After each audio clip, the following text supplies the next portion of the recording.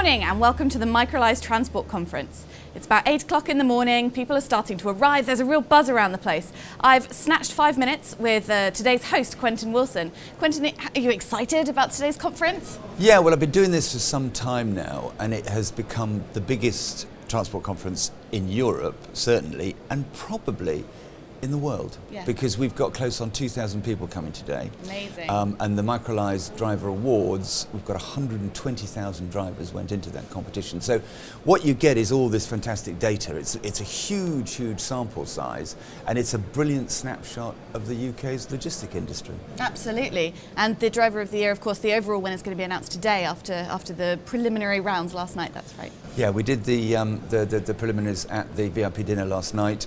It's just collectively those those those drivers, um, and two of them were women winners yesterday, which is absolutely great. They've travelled three billion miles. I mean, it just it's fantastic, and it's it's wonderful to have this data, and then Nottingham University analyses it, and we really do get towards a process of much safer much more compliant, much more progressive, gentle driving. So it's great, and the biggest driving competition in the world. Absolutely, and that's going to be such a nice part of the day, and it's always a lovely ceremony. Yeah, yeah. Um, what, what else are you really looking forward to today?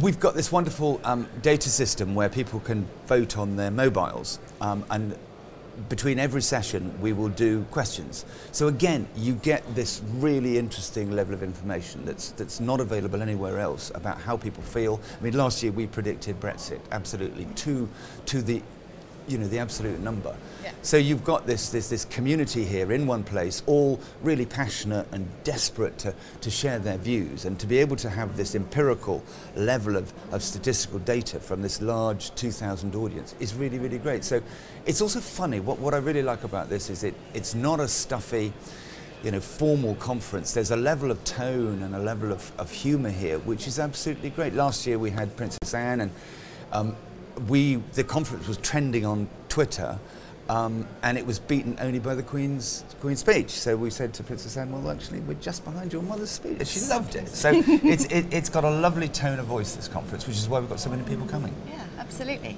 Um, and why, like you said, this event really has grown in the past few years. Why do you think Microlise is such an important conference for the transport industry?